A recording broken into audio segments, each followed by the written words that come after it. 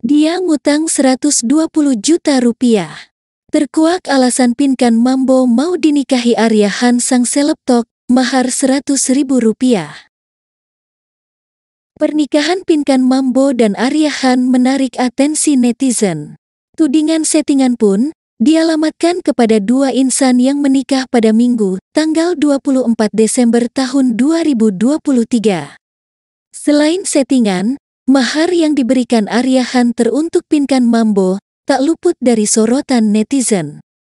Bagaimana tidak, sang tiktoker penjual singkong ini memberikan mahar 100 ribu rupiah kepada Pinkan Mambo yang rela pindah agama.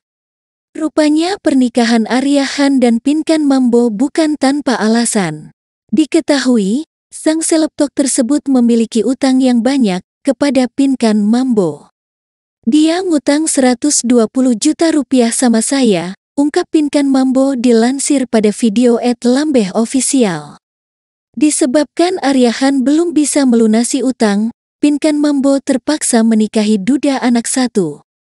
Dia belum bisa balikin, ya gue kawinin, kata penyanyi mantan duet Maya Estianti tersebut. Hubungan Pinkan Mambo dan Aryahan terbilang baru. Keduanya mulai memperlihatkan ke publik kedekatan awal Desember tahun 2023. Aku bilang aku suka sama kamu, gini, gini. Gimana nih kita? Pacaran apa enggak? Kayak aku yang nembak, ungkap Pinkan Mambo dalam video yang unggah ulang oleh di akun @madamsuperstar_indonesia.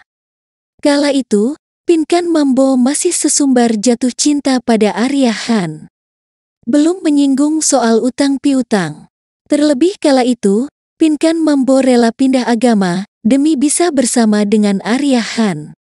Ini menjadi syarat yang diajukan Arya Han kepada mantan personel duo ratu tersebut.